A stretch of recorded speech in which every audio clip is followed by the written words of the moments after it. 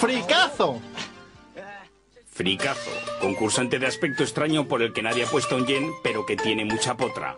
Los fricazos también son conocidos porque dicen cosas sin sentido. ¡Devuélveme la gallina, mamá!